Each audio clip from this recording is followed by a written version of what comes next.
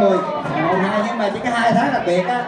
Là tháng 12 kia là tháng chạp nè một năm có mấy mùa?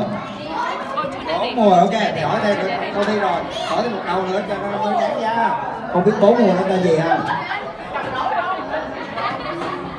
Mùa gì con?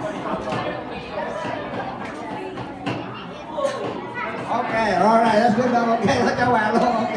Rồi cái này. Rồi cho quà Lên lấy quà lấy quà thôi không cần còn nữa hả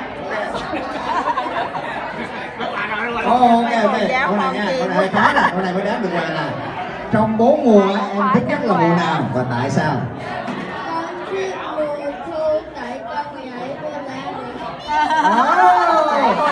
cô con thích mùa thu chơi con lá. con Cho nên là Ô, con nhảy cô lá được cô lá ok nhảy cô lá được rất là ngây mẹ ngờ sợ mẹ cứ chụp hình Mẹ đâu? Mẹ đâu rồi?